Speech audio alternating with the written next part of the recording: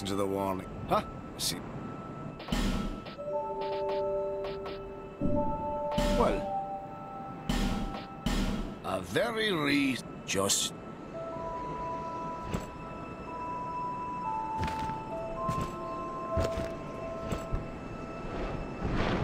Hey, this ladder's not for. The only things I sell are miniatures. I mean, if that tickles your fancy,